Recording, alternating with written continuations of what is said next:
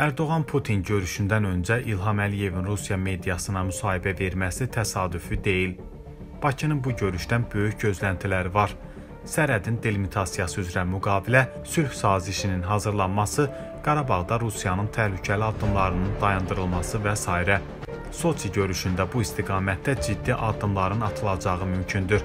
Xüsusilə Türkiyənin təklif etdiyi altılıq platformasının reallaşması perspektivlərinin aydın göründüyü vaxt və Əliyev görüş öncəsi Rusiya mediasında mövqeyini bir daha gündəmə gətirir.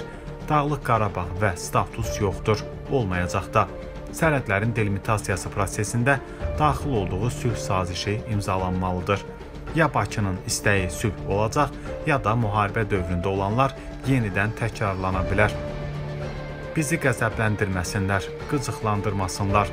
Nə qədər ki, bizim təklifimiz masa üzərindədir, onunla razılaşsınlar. Əks halda müharibə dövründə olanlar təkrarlana bilər. Əliyev açıq danışır.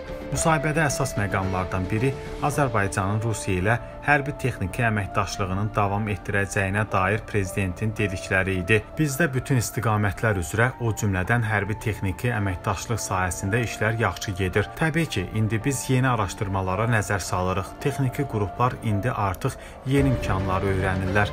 Biz bəzi sifarişlər vermişik.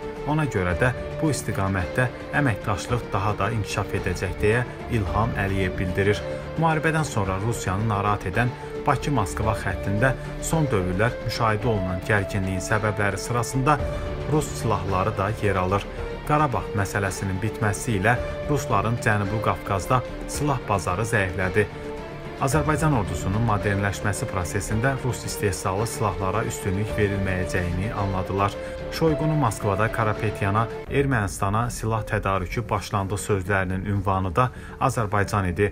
Ruslar Bakının silah tədarükündən pay almaq istəyir. Bakı da istəyinə nail olmaq üçün Moskvanın arzusu ilə razılaşır. Hərbi texniki əməkdaşlıq davam edəcək. Prezidentin bunu Ərdoğan-Putin görüşündən öncə açıqlaması görüşdən istədiyi nəticəni almaq gözləntisindən irəli gəlir. Ermənistan parlamentinin deputatı Tiqran Abramyan bildirib ki, Nikol Paşinyan hökumətinin Türkiyə və Azərbaycan ilə münasibətləri bərpa etməkdə maraqlı olduğunu bildirib. Stat: Ermənistan hakimiyyəti Türkiyə və Azərbaycanla bağlı gündəmini qəbul edib. Bu istiqamətdə addımlar atır və irəliləyir deyə Tiqran Abramyan bildirib.